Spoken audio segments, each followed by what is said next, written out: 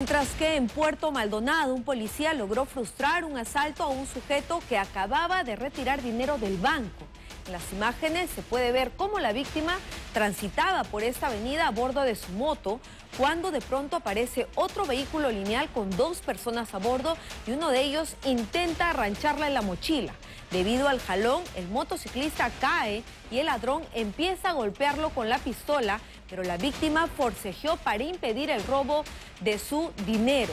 Es en ese momento que aparece un policía para ayudarlo, por lo que ambos ladrones huyen en direcciones distintas. Si bien el agente corrió tras ellos, lamentablemente no pudo alcanzarlos.